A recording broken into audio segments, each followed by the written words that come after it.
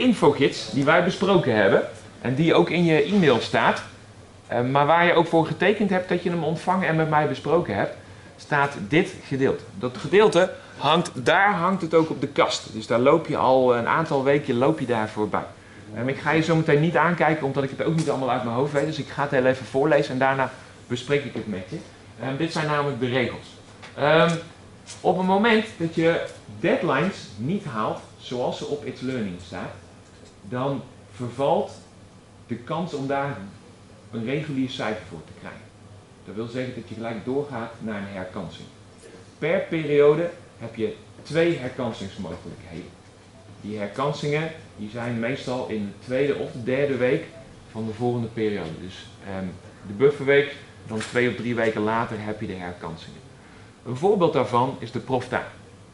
Morgen om half tien, dus voor het begin van de les, moet je operationeel plan van proftaak moet op It's Learning staan.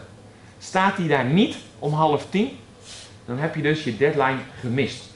Dat wil zeggen, dat wil je daar een cijfer alsnog voor krijgen, dan zul je daar een herkansing voor in moeten zetten.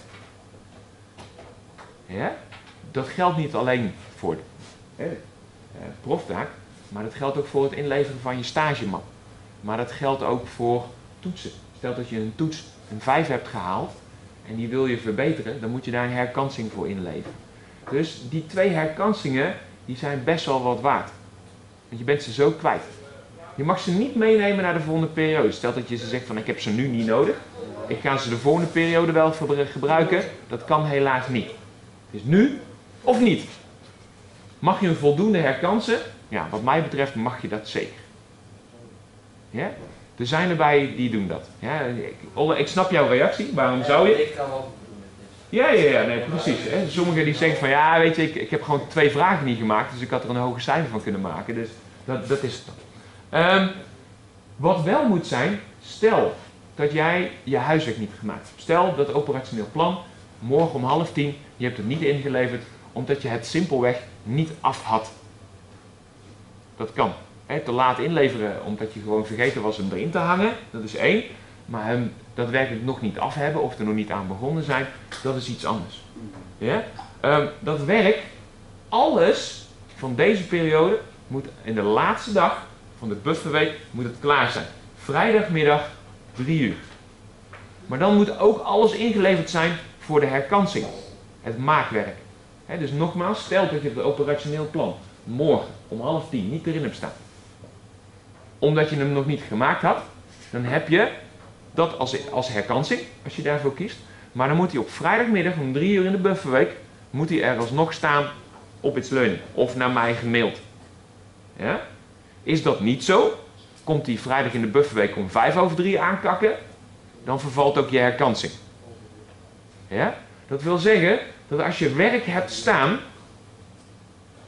werk open hebt staan, dat je op maandagochtend in de bufferweek om half negen hier op school bent om eraan te werken. Eh, alleen op een maandag.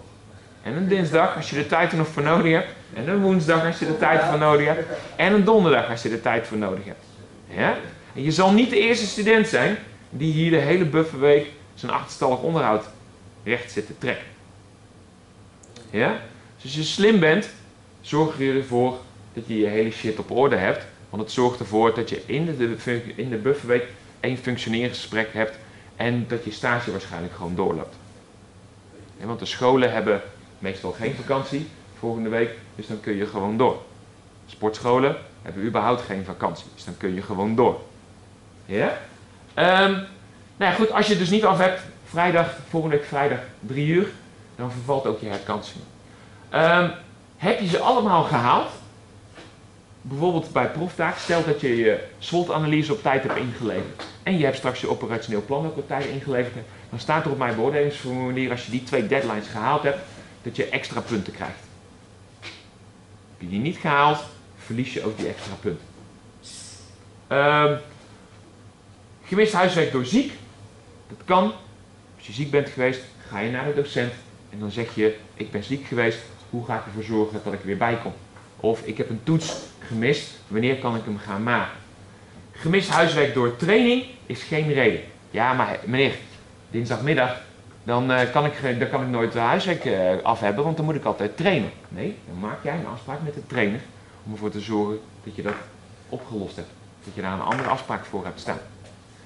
Sarah, Caitlin, Yara, alle drie op trainingskamp deze week. En ze hebben alle drie hebben ze afspraken gemaakt voor de toetsen die er vandaag, morgen, overmorgen zijn. Marijn, exact hetzelfde.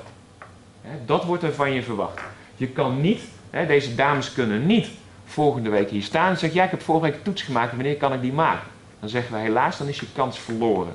Geen afspraak van tevoren gemaakt, dan is het dankje de koekoek. Ja? Jara zit zelfs in Oostenrijk en die heeft daar de toets trainingskunde gemaakt. Goedemorgen, jongen. Ehm, nou, ehm, wat is nog meer? Inhalen van toetsen. Nou ja, wanneer je afwezig bent bij een toets zonder reden dus, dan vervalt je kans. En wanneer je regulier afwezig bent geweest, dan maak je dus die nieuwe afspraak. Je hebt twee herkansingen. Stel je voor dat je eigenlijk drie dingen zou moeten herkansen. Je hebt je SWOT-analyse van proeftaak niet ingeleverd. Je hebt je toets trainingskunde heb je zwaar verknald en je PPV-map heb je eigenlijk ook niet ingeleverd. Dan zou je misschien wel drie herkansingen willen. Dat kan niet. Je kan er twee kiezen. En dan is het dus in het functioneringsgesprek, en daar staat ook nog een blokje in volgens mij, ehm, welke herkansingen wil je graag aanvragen. Dat staat volgens mij op de laatste pagina op de achterkant. Kan dat? Zeg ik dat goed? Welke herkansingen wil je aanvragen? Ja. Dus daar ga je, en dat is pas kort voor het functioneringsgesprek, dat weet je nu nog niet, want je hebt nu eigenlijk nog te weinig cijfers. Ehm, dan moet je dus met je cijferprogramma, dus kijken, oké, ik wil deze herkansing. Ja, oké, voor, eh, voor die toets staat een onvoldoende, maar het is in ieder geval een cijfer, dus doe mij maar proftaak en doe mij maar mijn BPV-map. En dan ga ik volgende periode voor dat vak wel weer een beter cijfer regelen. Ja? Dus daar moet je serieus wel over nadenken. Ehm, nou, aan het eind van, eh, van het jaar kunnen we je, en dat kunnen we je geven, een extra derde kans. Stel je voor dat je in deze periode je proftaak niet af had. Je had je BPV-map niet af. En je had je huiswerk voor Nederlands niet gemaakt, waardoor de toets niet mocht maken. Dan zou je dus eigenlijk drie herkansingen moeten hebben, maar je hebt er maar twee. En dan ga je die twee kiezen. En dan voor die laatste kun je aan het eind van het derde jaar kun je van ons een derde kans krijgen. En waarom kun je die krijgen? We kunnen er ook voor kiezen om hem niet te geven. Op het moment dat we je geven en je kan daarmee door naar het tweede jaar, dan zullen we makkelijker geven dan wanneer je aan het eind van het jaar zes, zeven van die derde kansen hebt staan, omdat je eigenlijk altijd met je voet omhoog zit en een beetje de boel aan het verkloten bent. Dan zeggen we ja sorry, maar dan gaan we je ook niet meer helpen. Ja? En wat er dan dus kan gebeuren, we geven je een aantal derde kansen. En alles wat er meer is, dan zul je dus, en dat is misschien een slecht voorbeeld, net als Mark, Bart en, eh, en Dylan, dan zit je hier nog wat langer, omdat hij dus meer kansen, en volgens mij was het voor jou niet eens het geval, maar dat was omdat jij later begonnen was. Dan heb je meer derde kansen nodig dan dat we je eigenlijk kunnen geven. En dan zul je dus eh, een aantal dingen nogmaals opnieuw moeten doen en dan loop je studievertraging op. Ja? Dus ben scherp. Regel je zaken goed. Als er deadlines staan en ze zijn belangrijk, zet ze in je agenda. Werk met een agenda zodat je weet wanneer je niet aanwezig bent en wanneer je dus afspraken moet gaan maken om een toets te verzetten of om een opdracht niet in te kunnen leveren. Je, dan kun je laten zien dat je eigenaar bent van je eigen leerproces. Deze afspraken zijn niet nieuw, maar ik weet zeker dat er volgende week maandag een aantal studenten op school zullen moeten zijn. En wie dat gaan zijn, ik weet dat wel. Maar ik ga ervan uit dat jij zelf ook weet dat het is. En als je de volgende week maandag niet bent, dan gaan we ruzie maken. Moet je dan hier in dit lokaal zijn? Dan zit je hier, Prima. Op school. Voor de gezelligheid. voor de gezelligheid. Ah, we zijn toch, ah, weer jou. Yes?